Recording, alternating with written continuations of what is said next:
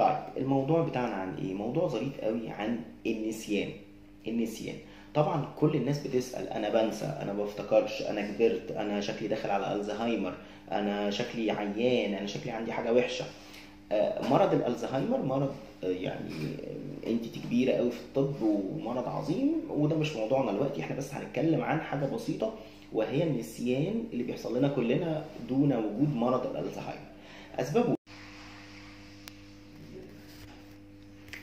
طيب مبدئيا هي إيه أصلا الذاكرة؟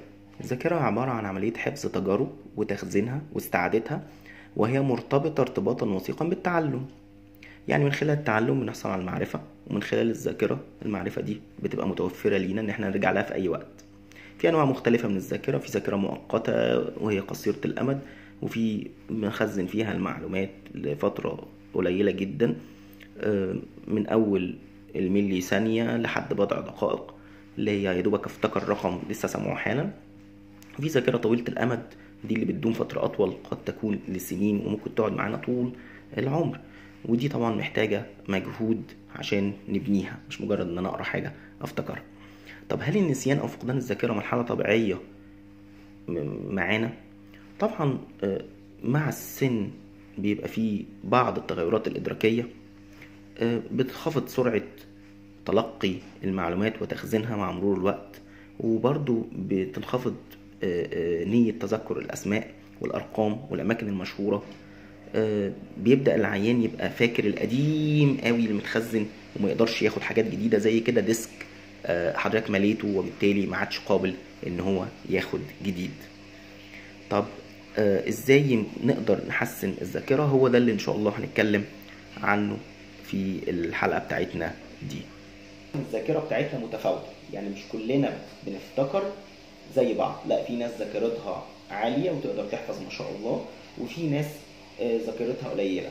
لا ده مريض ولا ده مريض. هو كل واحد فينا عنده تفاوت في ذاكرته ويقدر يفتكر أكتر من التاني أو أقل. نمرة اتنين آه، في ناس عندها ذاكرة لحاجات معينة. في ناس عندها ذاكرة لأرقام في ناس عندها ذاكرة للمشاهد. في ناس عندها ذاكرة للأحداث. آه، مش زينا مش زي بعض. في ناس تفتكر يقول لك لا انت في يوم كذا خدت مني خمسة جنيه وعملنا كذا وجبنا وسوينا. دي قدرات متفاوتة كل واحد غير التاني. نمرة اتنين. طبعا من أهم الأسباب التوتر والقلق. التوتر والقلق ده مشكلة كبيرة جدا. نمرة تلاتة. النوم المتقطع. النوم المتقطع من الأسباب الرهيبة. عمرك ما هتبقى ذاكرتك كويسة وانت نومك متقطع. نمرة أربعة. التدخين ثم التدخين ثم التدخين ثم التدخين. التدخين مصيبة بيعمل صلبات في الشرايين وبيعمل تغيرات في الذاكرة سواء اللحظية أو الرمو أو الذاكرة البعيدة. الاتنين بيتأثروا جدا. الأمر نمرة آه، خمسة الأمراض المزمنة. الضغط والسكر وتصلب الشرايين ومشاكل القلب كل دي بتعمل لنا نقص في الذاكرة. نمرة آه، سبعة آه، أو نمرة ستة آسف بعض الأدوية. بتعمل القصة دي آه في أدوية بتؤثر على الذاكرة ودي أدوية نادرة وقليلة يعني ومعظمها أدوية بتشتغل على المخ وبتعالج أمراض نفسية وبالتالي إن شاء الله مش كلنا بناخد الحاجات دي. آه، نمرة سبعة ضعف التغذية. آه التغذية الغير منضبطة اللي ما فيهاش فيتامينات ما فيهاش خضروات ما فيهاش فواكه ما فيهاش بروتينات لازم تؤدي إلى نقص في الذاكرة. نمرة 8 وجود طبعا نقص حديد وده شهير جدا عند الستات. وحالات الأنيميا الشديدة وحالات آه، الأنيميا الغير متعالجة دي بيعمل مشاكل. lastly بقى نمرة تسعة يمكن مرض نقص إفراز هرمون الغدة الدرقية وده كنا اتكلمنا عنه حلقة لوحده وقلنا إن هو يجب أن يعالج. حتى أحيانا في عيانين بيتشخصوا ألزهايمر وهم كل القصة hypothyroid بس عندهم نقص إفراز هرمون الغدة الدرقية مجرد ما يتعالج العيان يبقى كويس جدا جدا جدا. الحلول بقى مش عايزين نستفيض في الأسباب عايزين نبدأ الحلول. الحلول أول حاجة أول حاجة معلش كلام يبان سهل ولكن والله جربوا هتشوف الرياضة الرياضة. محتاجين على الأقل ربع ساعة يوميا مشي رجالة بجد. مشي خط straight اللي هو المشي اللي تعرق فيه. أقل من كده ده ما اسموش رياضة. مشي السنكحة ده ما اسموش رياضة. okay؟ نمرة اتنين لازم البني آدم يشغل مخه على طول. شغل مخك ما توقفش مخك.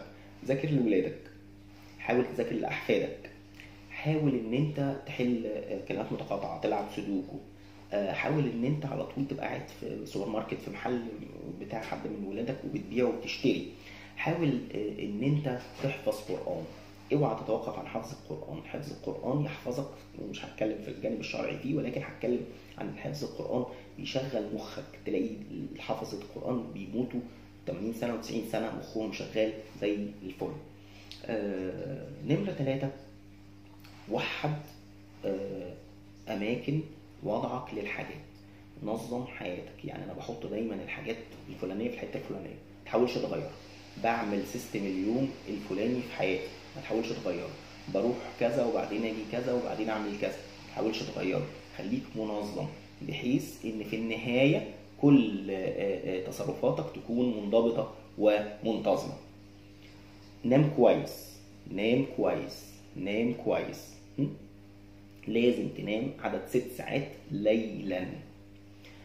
آه، ابعد عن القلق والتوتر. حاول تبعد عن القلق والتوتر. هقول إن شاء الله هنبعد عن القلق والتوتر إزاي؟ التدخين. اقلع عن التدخين سواء سجاير أو أي حاجة تانية? اقلع عن التدخين. لازم تقلع عن التدخين. آه بعد كده لو في أمراض زي ضغط سكر غدة درقية كل ده يتعالج وينضبط ويتحسن? يتعالج وينضبط ويتحسن. لازم مش معنى إن أنت بتاخد علاج سكر إن أنت منضبط. مش معنى إن أنت بتاخد علاج سكر آه، غدة درقية إن أنت مظبوط. لا خالص ممكن يكون كل دول وحشين وحضرتك بس تاخد علاج وخلاص? آه، اعمل الحاجة أول ما تفتكرها. ما تحاولش تسوف. تقول طب لما أفتكر لما أعمل. مش هيحصل.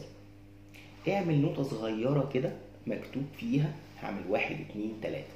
يعني في ناس بيبقى معاها نوتة البنوك دي اللي بتتوزع علينا دي مش معمولة عشان حضرتك تذاكر فيها بس لا. معمولة عشان اكتب فيها ان يوم كذا هعمل كذا ويوم كذا هعمل كذا. أنا لما لقيت جدول المحاضرات بتاعي باظ والشغل والعيادات وبقيت بنسى أنا رايح فين في برنامج اسمه to do list على ال application على الموبايل. اعمل عليه. فوجئت جاي بحط ال to do list بتاعي بتاع الأسبوع لقيت البرنامج صوت صوت. لقيت إن كل حاجة أنا حاططها في نفس الوقت?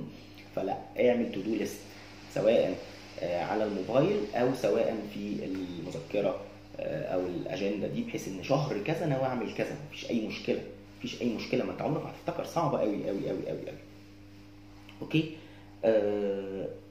ح- عايز أختم بس بالبعد عن القلق أبعد عن القلق إزاي؟ الموضوع مش صعب.